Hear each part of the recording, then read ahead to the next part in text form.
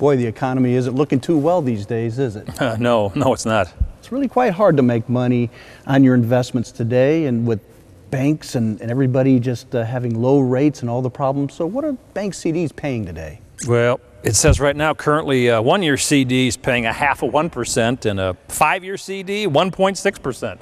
That's just terrible. And the stock market, the stock market, you just can't trust the stock market. It's really quite volatile, isn't it? It sure is. You know, I figured out the last 12 years, I haven't made any money at all. I mean, it goes up 20 or 30% for a while and then down 30 or 40%. It's like a giant roller coaster ride. I know exactly what you're saying, and you know what? That sure is lousy. Yeah. I mean, I don't even know what to do with my own money nowadays. Well, I'll tell you, I've made a killing in the market these last three years. I've been buying international bonds, international bonds that are being sold by some foreign countries. But get this, they're selling them to companies that are got very poor credit and they're willing to pay a much higher premium for these bonds. In fact, some of these bonds have spreads from 12 to 18 percent. I got to tell you, some of my buddies of mine and I, we've more than doubled our money in the last three years. Are you kidding me? That that sounds too good to be true. Well, I got to tell you something. Let me show you these statements that I have here. Take a look at these. This will prove you what those returns have been. Holy cow. Are, these things safe? Of course, they're safe. No one has ever lost any money with these bonds. They're backed not only by the countries that are, in, uh, that are issuing them, but they're backed by Lloyd's of London as well. Now, I'm going to tell you, not too many people know about this investment, so I'm kind of keeping it kind of on the download, but it's been a gold mine for my associates and I. Well, how can I uh, invest some money in it too, possibly? Well, I don't know. It's uh, they're not looking for new investors right now, but you look like a nice enough guy. Give me your name and number, and I'll see what I can do for you. Okay, great, great. Uh, I sure do appreciate it, and uh, you know, I do have some money to invest. Well, I like to hear that. You know what? I'll be in touch with you, that's for sure. Okay, great. I, I appreciate it. Uh, by the way, uh, what's your name? Ponzi. Ponzi Schemerwitz. Ponzi? Good to meet you. Oh, good, good to meet you too. We've heard it said many times before if it sounds too good to be true, it probably is. Yet so many good people are fooled by these professional scam artists and Ponzi schemes. And no one is immune from these masters of deception either. The rich and famous, as well as the uneducated to the higher educated, have been trapped by the web of guaranteed higher returns and no risk investment promises by these shysters.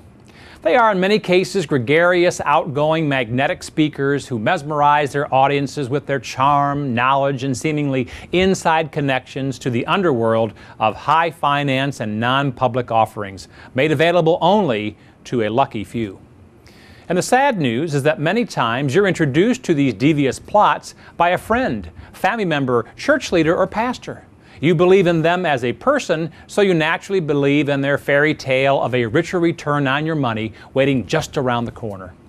Of course, in most cases, these good people have been duped themselves, not knowing they were leading you and themselves down a dark tunnel, never to see the return of your money again. Call it greed or gullibility on the part of the investor who wants to earn a higher return on their investments. Those who perpetrate these crimes against their victims have no conscience or remorse and are always on the hunt for their next easy mark. So, here are my five keys to protecting yourself and your money from the next great Ponzi scheme or scam.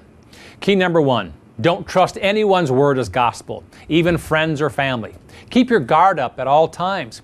It may have taken you a lifetime to save up your nest egg, so don't be in a hurry to hand it over to someone else, all for the sake of making more money.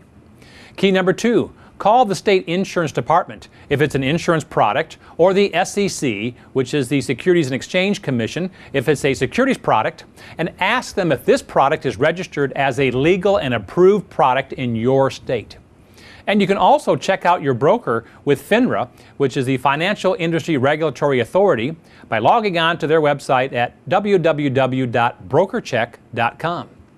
Key number three call your local Better Business Bureau and ask them if this company is registered and if they've ever had any complaints by unhappy investors. Key number four Call the state attorney general's office and ask them if they're aware of this product or investment and if they have had any active investigations going on regarding this company. And key number five never ever hand over cash or write a check out in the name of the salesman or financial advisor who is promoting the investment or to their individual company's name. Only write a check to the institution, insurance company, or brokerage firm who is underwriting this product or investment. And as an additional strategy and safeguard, be sure your monthly statements don't come from the advisor's office or on their letterhead. They should always come from a third party custodian, like TD Ameritrade, Pershing, or a brokerage firm like Merrill Lynch, Edward Jones, or others like them. And please remember, always remember, if it sounds too good to be true, it probably is. Now is the time to protect your life savings and financial future from these swindlers and shysters. They like to wear a mask of kindness and special financial connections, yet they really have a hollow heart and a forked tongue. Please be careful with whom you entrust your money to. You can take a lifetime to build it up, and in a moment, it can all be gone. Many have suffered this unbearable fate, so don't fall into the same trap. Guard your money with wisdom, counsel, and due diligence. The good news here is that there are many good, caring financial advisors out there who truly look out for the best interests of their clients. Fortunately, there are more good guys than bad guys in the financial services field. But you must do your research and due diligence before handing over your hard earned cash. And to help you in selecting the best financial advisor in your area, download our free report 10 questions to ask your financial advisor before you invest a dime with them.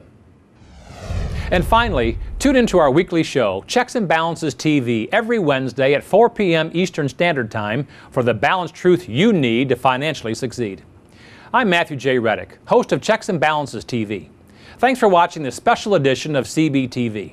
And remember, you can become financially independent. You just need confidence and determination. Until next week, spend less, save more, believe in yourself, and make it happen.